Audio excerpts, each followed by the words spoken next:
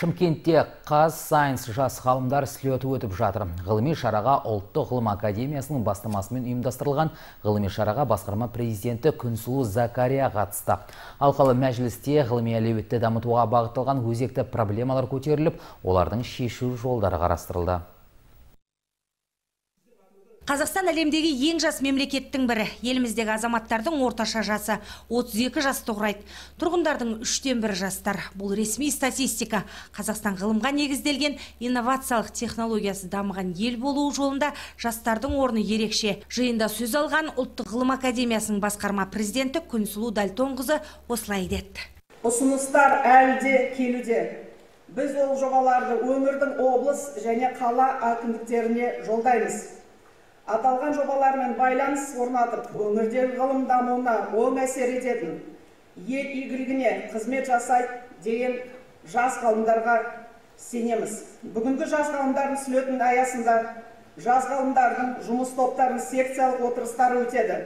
Миллионды шаһарда жас ғалымдар аз емес. Олар еліміздің оқу ағарту саласының дамуына тың серпін беріп жүр. Жиында сөз алған Шымкент қалалық ішкі саясат және жастар істері жөніндегі басқарма басшысы Бақтияр Өнербаев осы бағыттағы жұмыстар жөнінде ақпарат бере кетті.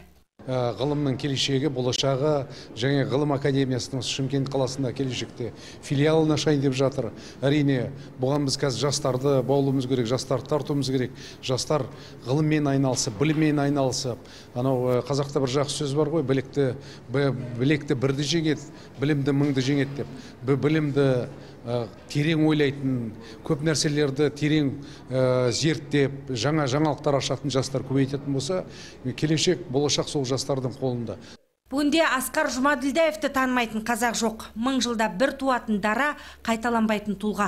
Күнге күйіп, құмда ойнап өскен баладан әйгілі математик шығады деп кім ойлаған?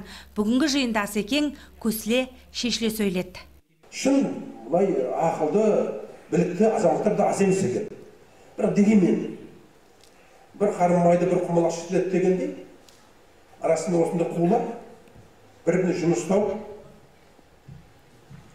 адам ит қылады екен өкінішке орай бұл кісінің ұсыныстарының көбісі осындай жаңағы бюрократияның батпағына кіріп кетіп армаға жүрмей жатқан сияқты әсер қалдырады менде Талантты әрі жас ғалымдарды ғылыми ортаға тарту мемлекет басшысының тапсырмасы.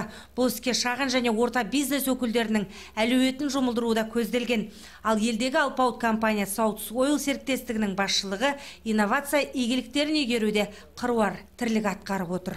Осы медицина академиясының студенттерінің келешекте өте жоғарғы білімде практикада өту үшін Шымкенттен қазір медициналық клиника салып жатырмыз оның 800 орындық больница и 700 посещение смены келетін. Ал 2800 адам. 2800 адам жұмыс істейтін болады. Ал поставка оборудованиенің бәрі симис пен филипс пенен олармен полностью контрактовать етіліп сонымен бірге оны мына китайский компания смек деген сол 700-ден астам бүкіл дүние жүзінде медицинский клиникалар салған үлкен белгілі компания. Солармен бірге қазір жұмыста жұмыс жүріп жатыр. Бізде қазақстанда әр өңірде мықты мықты жас ғалымдар бар.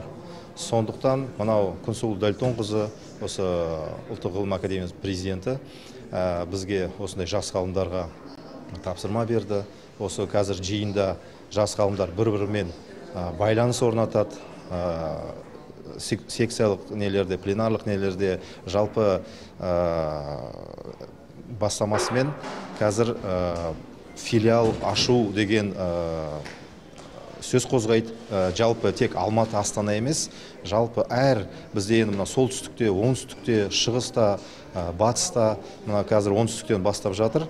Ұлттық ғылым академиясының жанынан ғылымның басым бағыттары бойынша жас ғалымдардың жұмыс тобы құрылған.